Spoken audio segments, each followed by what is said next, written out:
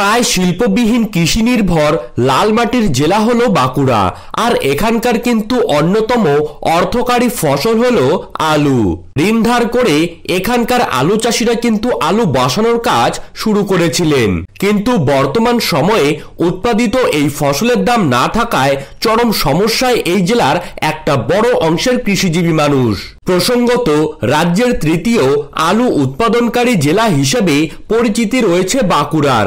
এই জেলার কতুলপুর, জয়পুর, ইন্দাস পাত্রসায়ের বিষ্ণুপুরের পাশাপাশি দক্ষিণের তালডাংরা, সিমলাপাল, রায়পুর, সারেঙ্গা এইসব ব্লক এলাকায় প্রচুর পরিমাণে কিন্তু আলু চাষ হয়ে থাকে। চলতি বছরে বাঁকুড়া জেলায় এক লক্ষ থেকে এক লক্ষ পাঁচ হাজার একর জমিতে আলুর চাষ হয়েছে। এই আলু চাষে একজন চাষির একর প্রতি খরচ হয়েছে বাষট্টি হাজার টাকারও বেশি। কিন্তু ওই জমিতে উৎপাদিত আলুর দাম মিলছে মাত্র আটচল্লিশ হাজার টাকা। ফলে চোদ্দ হাজার টাকা কিন্তু একর প্রতি লোকসান হচ্ছে। বেশিরভাগ কৃষক বিভিন্ন সমবায় সংগঠন থেকে ঋণ নিয়ে চাষ করেছেন। এছাড়াও কেউ কেউ ব্যক্তিগত ঋণ নিয়েও কিন্তু আলু চাষ করে থাকেন। প্রগতিশীল আলু ব্যবসায়ী সমিতির পশ্চিমবঙ্গ রাজ্য কমিটির সভাপতি বিভাস দে বলেন, আঞ্চলিক ও গ্রামীণ অর্থনীতির অন্যতম ভিত্তি হল কৃষি ও কৃষক। কৃষকরা কিন্তু বারবার বিভিন্ন মহলে আবেদন জানিয়েছেন যাতে সঠিক মূল্যে আলুর দাম ঘোষণা করা হয়।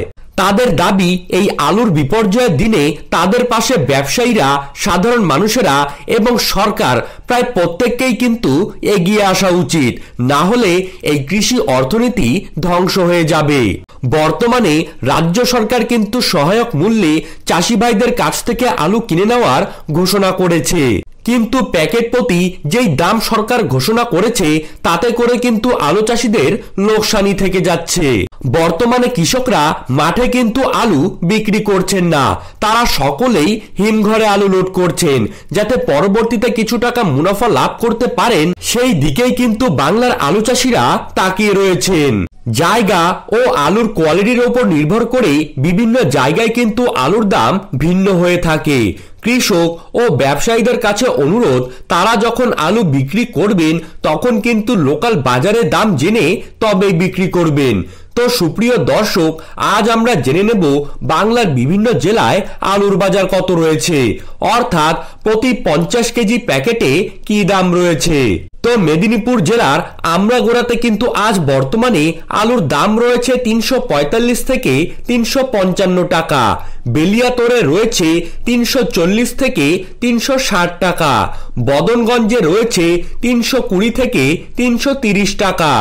বাগদহে আজ আলুর দাম কিন্তু রয়েছে তিনশো ষাট থেকে তিনশো সত্তর টাকা। চমকাই তলাতে আজ কিন্তু বর্তমানে প্রতি পঞ্চাশ কেজি প্যাকেটে আলুর দাম রয়েছে তিনশো পঞ্চাশ টাকা।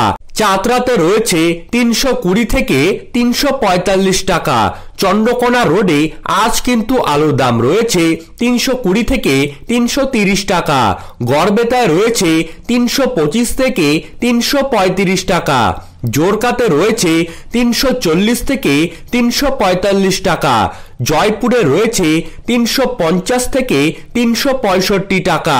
পূর্ব বর্ধমানের কারালা ঘাটে কিন্তু রয়েছে তিনশো সত্তর থেকে তিনশো আশি টাকা। কলকাতায় আজ আলুর দাম রয়েছে তিনশো কুড়ি থেকে তিনশো ষাট টাকা। কতুলপুরে রয়েছে তিনশো পঁয়ত্রিশ থেকে তিনশো পঁয়তাল্লিশ টাকা। কুমরুলে রয়েছে তিনশো দশ থেকে তিনশো কুড়ি টাকা। কামার পুকুরে রয়েছে তিনশো দশ থেকে তিনশো পঁচিশ টাকা। কোচবিহারে রয়েছে দুশো পঞ্চাশ থেকে দুশো সত্তর টাকা, সোনামুখীতে রয়েছে তিনশো পঁচিশ থেকে তিনশো পঁয়তাল্লিশ টাকা সুরেকাল্লাতে রয়েছে তিনশো সত্তর টাকা উদয় নারায়ণপুরে রয়েছে তিনশো দশ থেকে তিনশো পঞ্চাশ টাকা, পান্ডুয়ায় রয়েছে তিনশো কুড়ি থেকে তিনশো তিরিশ টাকা, বর্ধমানে রয়েছে তিনশো পঞ্চাশ থেকে ষাট টাকা তারকেশ্বরে রয়েছে তিনশো সত্তর থেকে তিনশো আশি টাকা। কোচবিহারের দিনাটায় রয়েছে দুশো পঞ্চাশ থেকে দুশো ষাট টাকা।